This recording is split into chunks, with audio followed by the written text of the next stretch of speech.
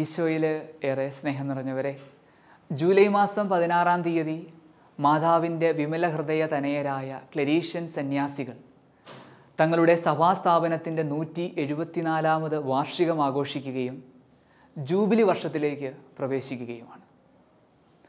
പത്തൊമ്പതാം നൂറ്റാണ്ടിൽ സാമൂഹിക രാഷ്ട്രീയ സാമുദായിക വെല്ലുവിളികൾ ഒട്ടനവധി നിറഞ്ഞു നിന്ന സ്പെയിൻ എന്ന യൂറോപ്പിലെ ഒരു കൊച്ചു രാജ്യം.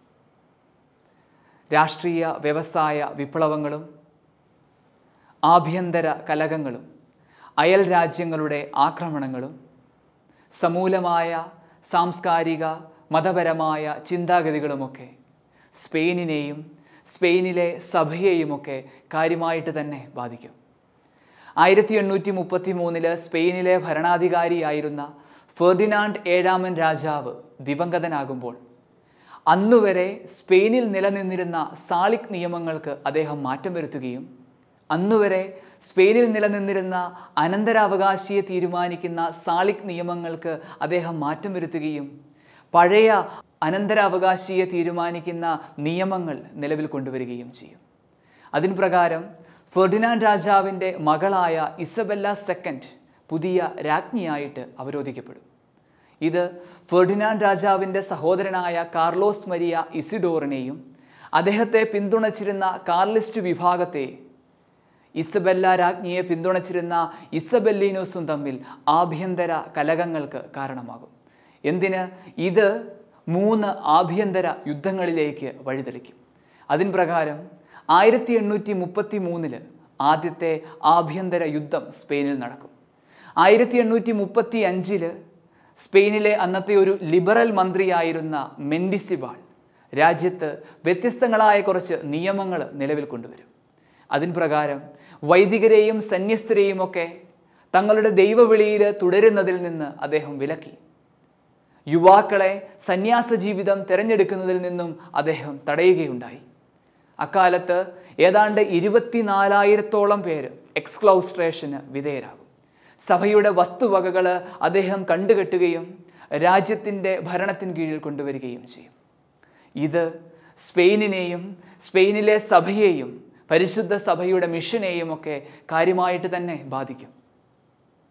സ്പെയിനിലെ പരിശുദ്ധ സഭയുടെ ദുരവസ്ഥ കണ്ടിട്ടെന്നോണം സ്പെയിനിൽ ധീരനായ ഒരു മിഷനറി ഉദയം ചെയ്യും.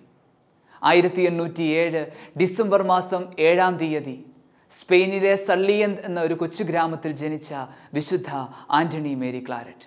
John Claret Josefina Clara ദമ്പതികളുടെ പതിനൊന്ന് മക്കളിൽ അഞ്ചാമനായി വിശുദ്ധ ക്ലാരറ്റ് സ്പെയിനിൽ ജനിക്കും.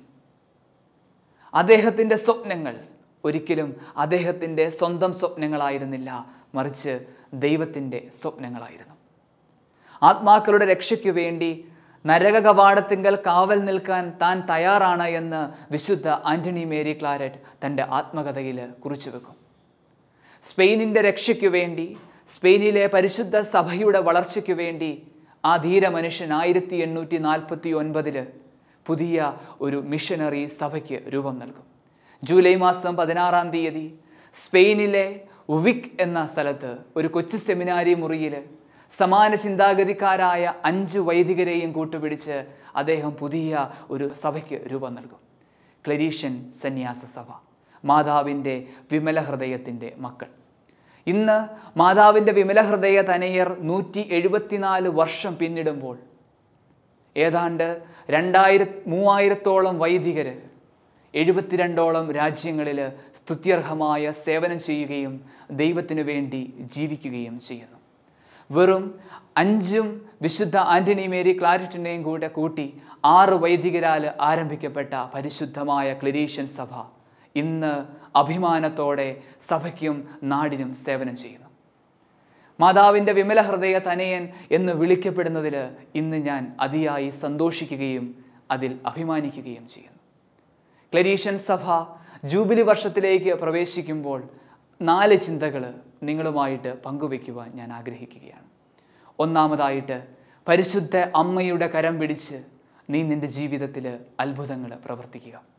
രണ്ടാമതായിട്ട് വചനത്തിനു വേണ്ടി ദാഹിക്കുന്ന ആത്മാക്കൾക്ക് ദൈവവചനം സന്തോഷത്തോടെ പകർന്നു കൊടുക്കുക.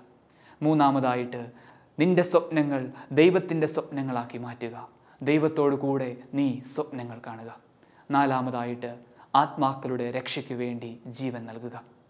ഈശോ നമ്മെ എല്ലാവരെയും അനുഗ്രഹിക്കട്ടെ. പരിശുദ്ധ അമ്മ നമുക്ക് വേണ്ടി മധ്യസ്ഥം വഹിക്കട്ടെ. ആമേൻ.